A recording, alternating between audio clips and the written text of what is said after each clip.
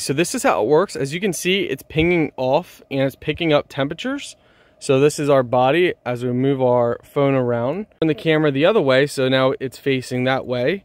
And here we can see. So you can see hot spots in your basement um, or anywhere, which is really cool.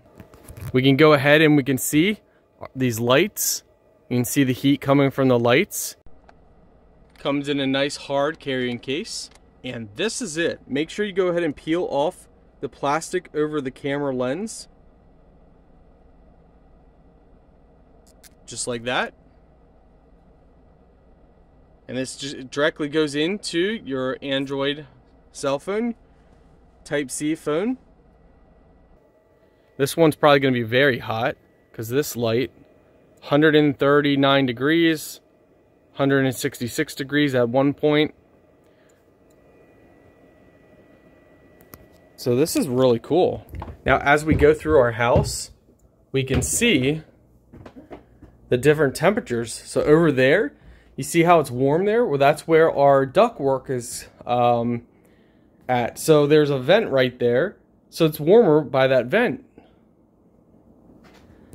And we could just look through the whole house and you can kind of get an idea of you know, where there's heat spots or where it's leaking. Um, you can use this for your vehicle. You can use this for many different things. Here we can see hot spots over here because there's a vent over there.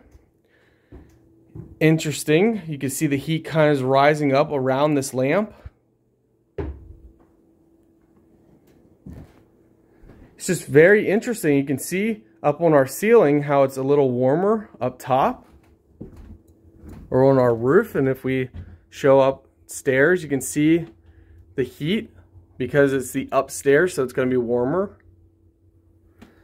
Overall, this thing is amazing. This absolutely is amazing.